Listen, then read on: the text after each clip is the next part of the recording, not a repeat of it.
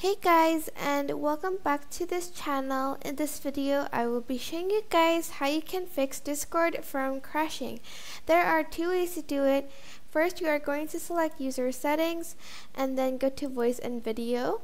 Scroll down until you find this which is um, debug logging and you are going to um, turn it off. I already have mine off, but if it's enabled, you're just going to turn it off.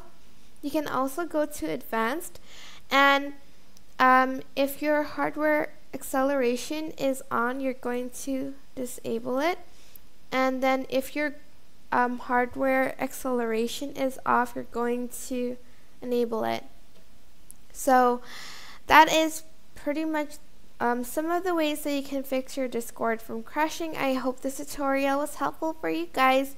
Don't forget to like, comment, share, and also subscribe to this channel if you haven't done that. If you have any questions, just leave it in the comment section down below and I will try my best to answer them all. Thank you so much for watching. Bye!